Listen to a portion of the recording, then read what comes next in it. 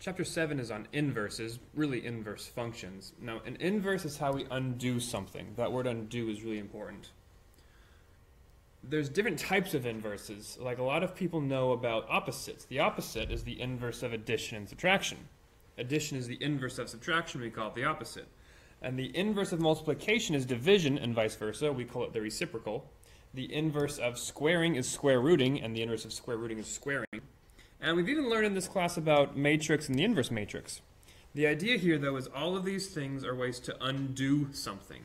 So 3 plus 4 gets me 7, and then 7 minus 4 gets me back to 3. So adding and subtracting undoes what I did. I had 3, I added 4, I got 7. From 7, I subtracted 4, I got back to 3. That's an example of an inverse, how to undo what's been done. There are a lot of ways to think about inverses. I'm going to cover four. One way is that two relations are inverses when one relation contains the elements of the other, but they've been switched. So if something has the point AB, the other one has the point BA. For example, A has these points, B has these points. Well, A and B are inverses of each other because 1, 5 became 5, 1, 2, 3 became 3, 2, and negative 1, 6 became 6, negative 1. And this is actually the idea of reflection. So idea number two, another way to think about inverses, is two graphs or any two things are inverse relations if they're reflections over the line y equals x. Now you've probably taken some geometry and you probably learned about how to do reflections, but let's just go ahead and cover that again to be safe.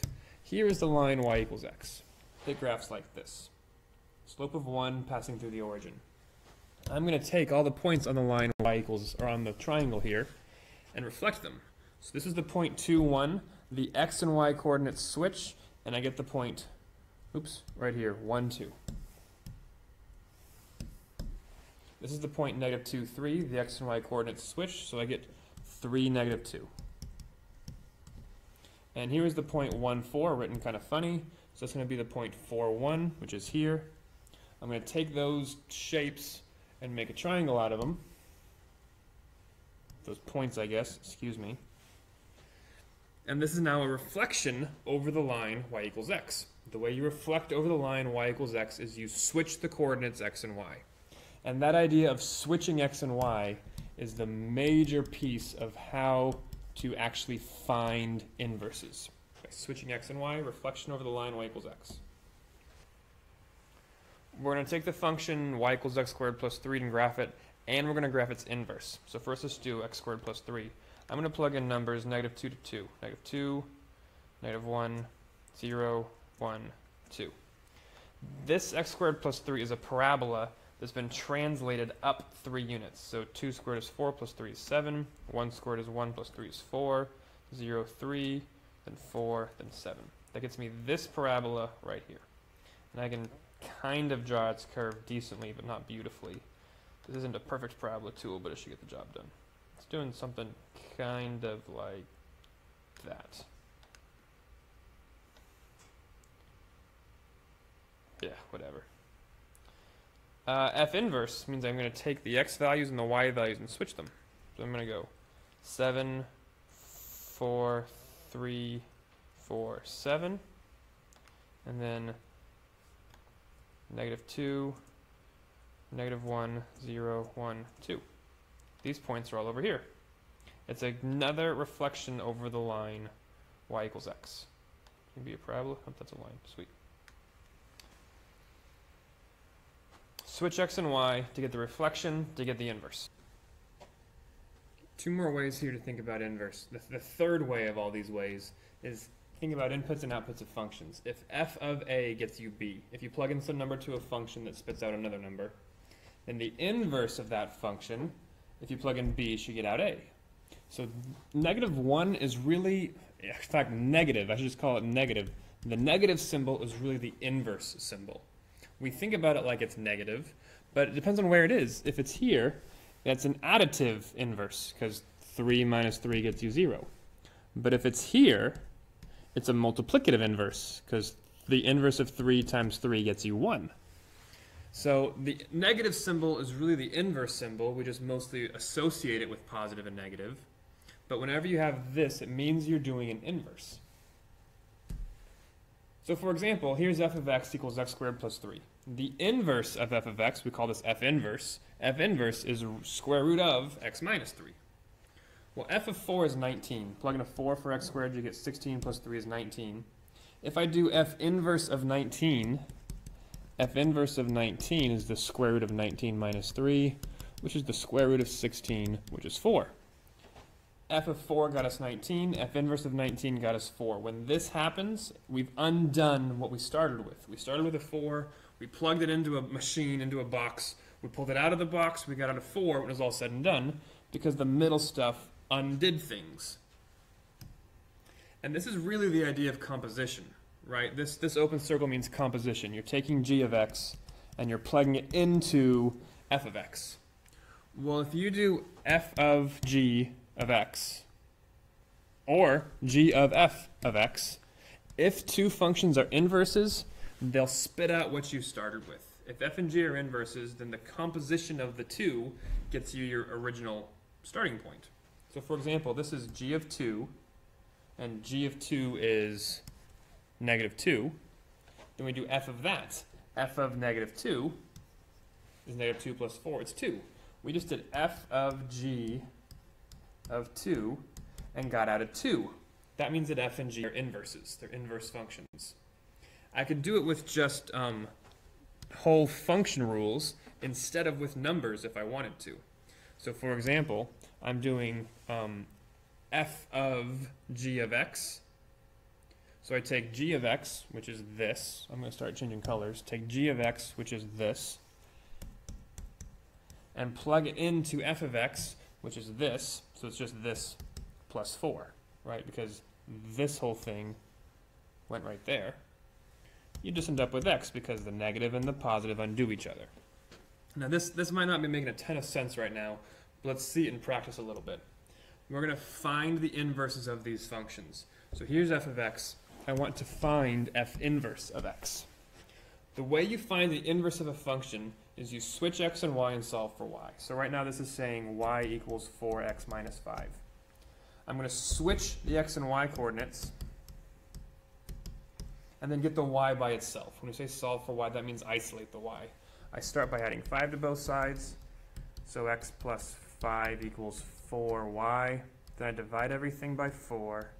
And x plus 5 divided by 4 equals y. That is my inverse function. f inverse of x is x plus 5 divided by 4.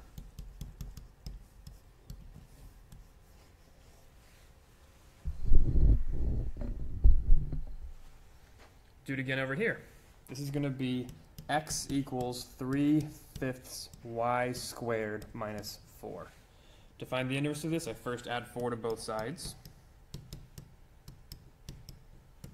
Then I multiply both sides by the reciprocal of 3 fifths, which is 5 thirds.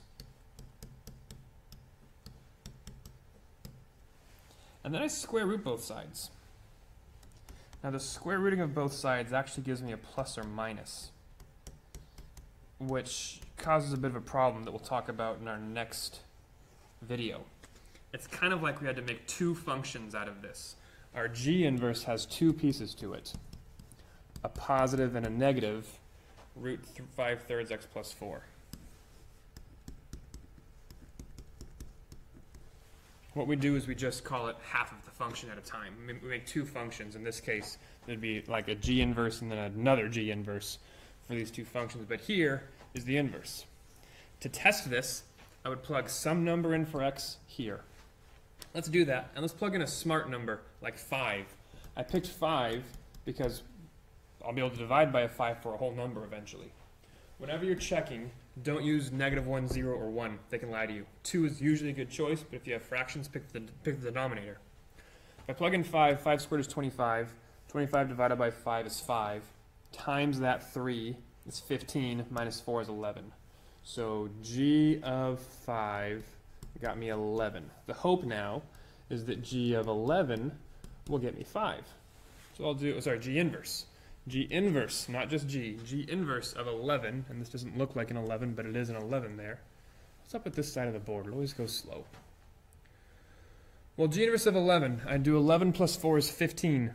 15 divided by 3 is 5, times 5 is 25. The square root of 25 is 5 again. I don't want the negative 5, I just want the positive 5 actually. So in this case, it's just a positive 1, and it checks out. G inverse of 11 got us 5. Don't forget, whenever you're solving, you're really just basically doing PEMDAS backwards. It's not always that simple, but it's often that simple. You try to get rid of addition or subtraction first, then multiplication or division, and then any exponents, and then parentheses. So to solve this, you know, I think of this as y equals 3 root x minus 2 plus 4. To find the inverse, I'm going to switch x and y.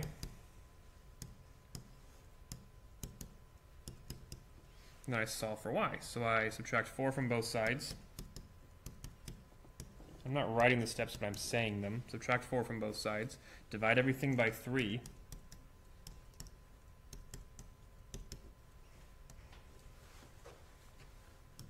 Square both sides. Ignore that little recording thing.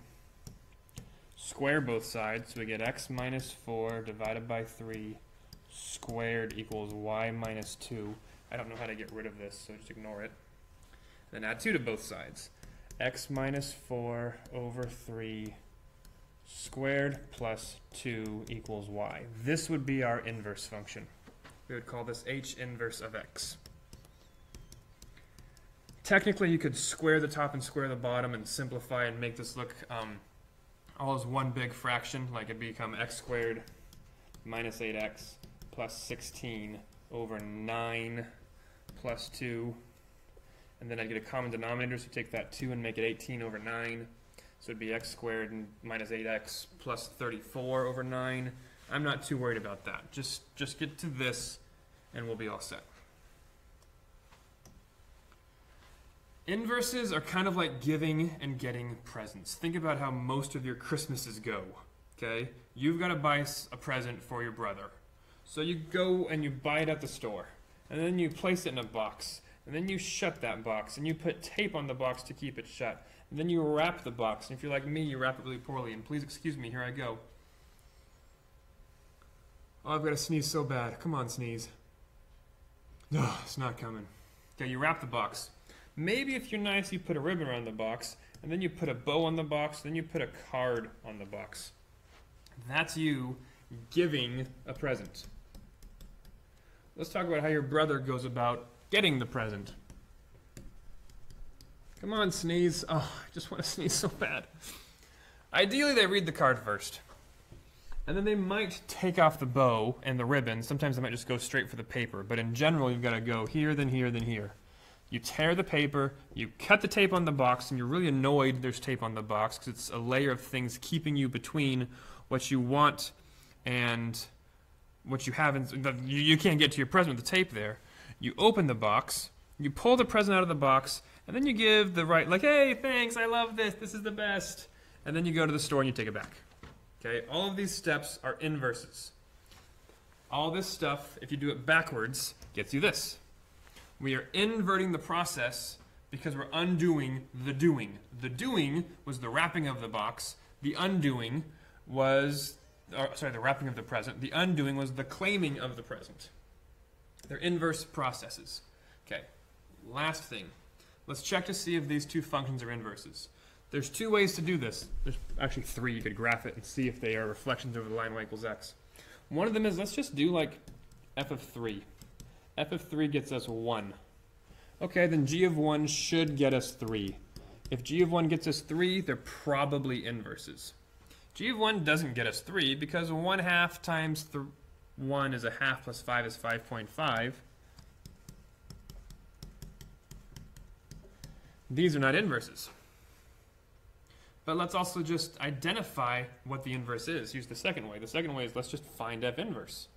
So x equals 2y minus 5. I'm going to add 5 to both sides. Then divide everything by 2.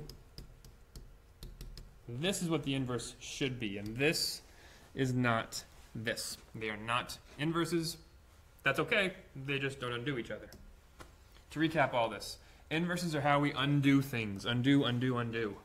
They're reflection over the line y equals x, which means you're constantly switching the x and y coordinates. If f of a equals b, then f inverse of b equals a. And if f and g are inverses, then f of g of x equals x. If you compose the two functions, you get out the same thing because one just undid the other. It's a hugely important topic that you've really been using most of your math career. We're just going to get it formalized, these beautiful inverses. Hey, thanks for watching. I hope you found this helpful. If you did, please like it and subscribe it and share it and do all those good things. Or you can just sit there and be distracted by my spirograph as it goes around and around forever. Just going and going and bouncing and bouncing. See you next time.